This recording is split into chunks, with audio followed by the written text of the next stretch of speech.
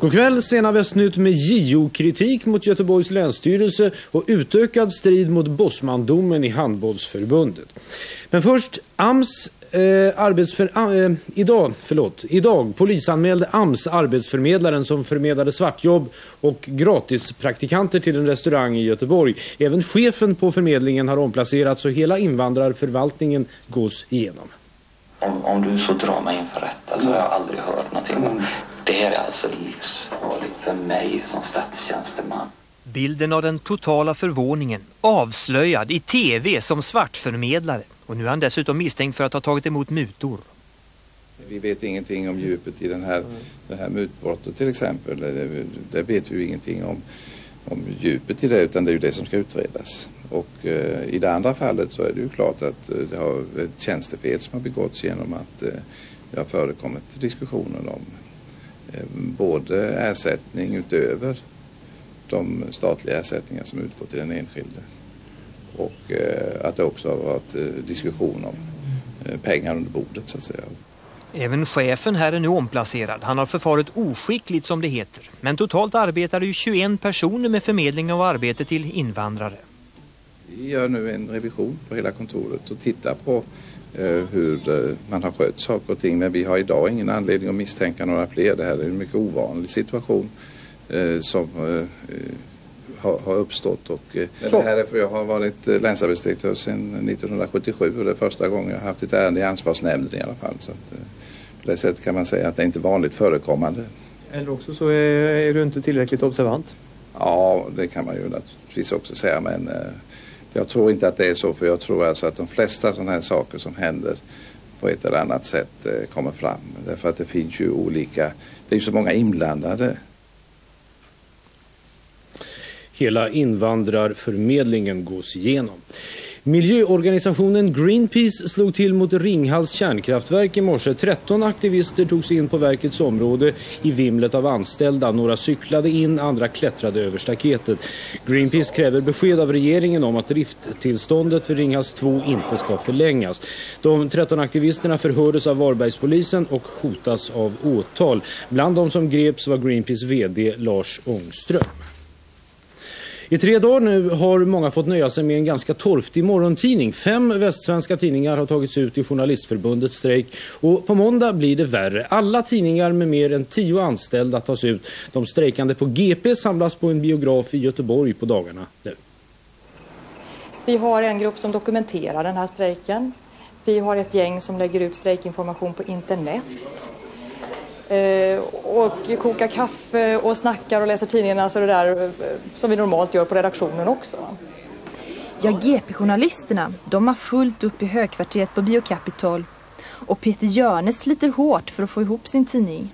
Men hur länge kommer läsarna att bry sig? Men kan det inte bli så att eh, läsarna vänjer sig av och märker att de klarar sig ganska bra utan GP till morgonkaffet?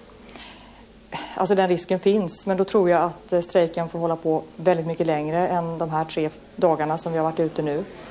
Jag kan ju inte mer än hoppas och tro att de träffas åtminstone sent på söndag kväll, TU och Journalistförbundet och kommer överens så att vi slipper det här varslet som är lagt till måndag klockan tre, för då stannar ju Tidningssverige.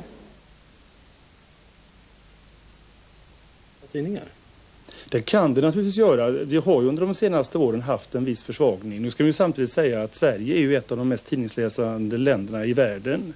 Så att engagemanget i tidningar är stort. Det behövs ganska mycket i Sverige. Men talar vi ändå om säga, någon månad eller någonting sånt så är det säkert en del människor som överväger om, detta, om det finns några alternativ till tidningen.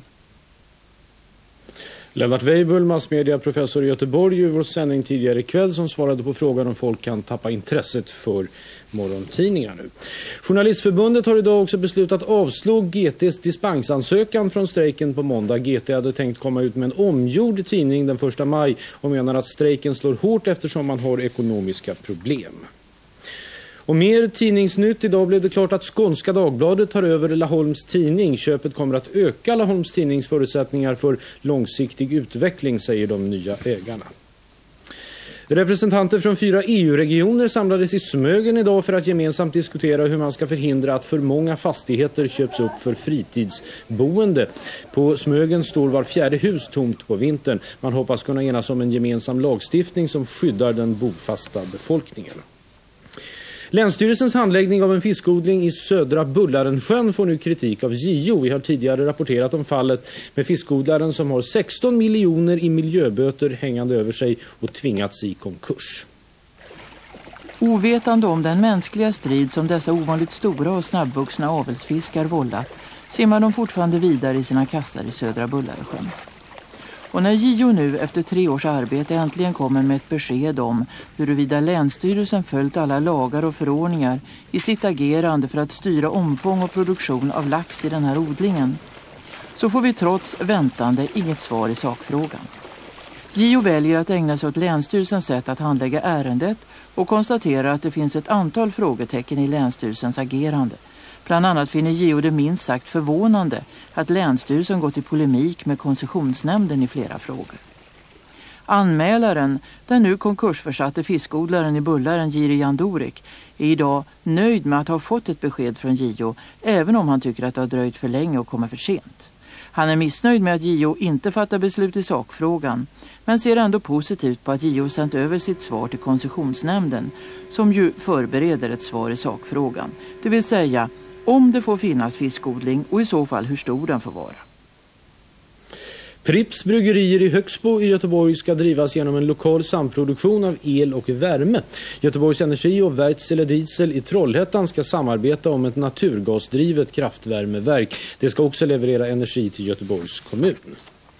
En bilstöldliga på nio personer med huvudmannen från Hylte åtalades idag i Halmstad.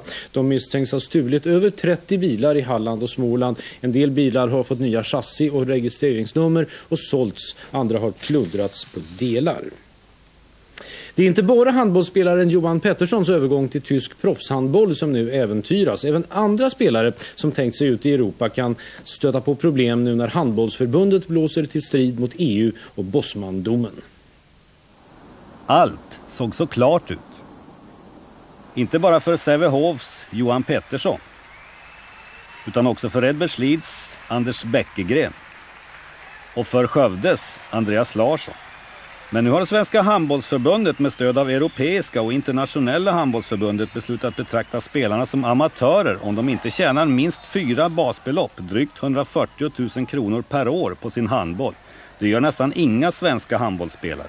Och är spelarna amatörer så berörs de inte av bossmandomen Och plötsligt ser det inte alls så klart ut längre. Handbollen tar alltså strid mot EU. En av de drivande är Sävehofs och Johan Petterssons klubbdirektör Stefan Albrektsson.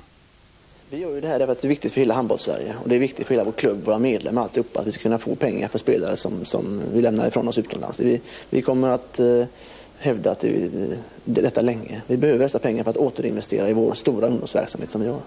Det är ju handbollsförbundet som ska ge de spelare som går till proffsklubbar till exempel spellicens. Och det kommer förbundet nu antagligen att vägra med avvaktande stöd från klubbarna. Ja, vi är beredda att gå så långt tills vi är överbevisade. Om det går till domstol? Då kommer vi att svara på den frågan den dagen. Nu är det högst tveksamt om taktiken håller. Enligt Svenska fotbollförbundets jurist Christer Malmsten är handbollen snett ute. Bosmandomen grundar sig på Romfördragets artikel 48 och där talas om arbetstagares rätt till fri förflyttning inom EU och arbetstagare är den som har betalt av ett företag eller en klubb om det så är bara en hundralapp. Handbollen blåser till en strid som de alldeles säkert kommer att förlora. Sen är det en annan sak att både när det gäller Johan Pettersson och Andreas Larsson anser klubbarna att spelarna fortfarande står under kontrakt medan de tyska intressenterna fått intrycket att de är kontraktslösa. Har svenskarna rätt kanske det tyska intresset svalnar. Snårigt, ja. Men det lär nog klarna så småningom. Något som inte verkar klarna är vädret. Imorgon blir det mulet och fram på eftermiddagen regn. Vi får omkring 10 grader och måttlig till frisk vind. På söndag ser det något bättre ut. Det blir växlande molnighet och bara någon lokal regnskur. Fortfarande omkring 10 grader, varmast i norr och vinden avtar något. Och det var Västnytts sista sändning för den här veckan. Ha det så bra i helgen. God afton.